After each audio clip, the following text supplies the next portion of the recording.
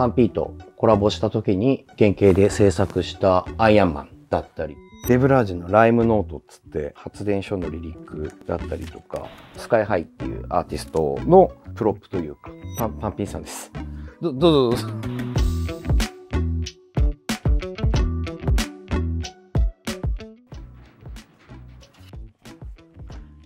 あ、どうもです。どうぞどうぞ。